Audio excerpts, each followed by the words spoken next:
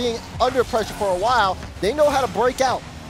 And they're breaking out here. Arsenal trying to line up the double. It's on Oh! the money! And T-Shock gets to bark a little bit louder. You say that, but he's composed. He knew he had that one all day long. Beautiful lineup and bottom right corner. That's true. They are Oh, in- Arsenal? Oh! Okay, okay. You got it, Arsenal. You can have it. Oh, that was just nice. Goes up the wall, jumps off that with 58 boost. They only used about 20 before he made contact with that. And perfect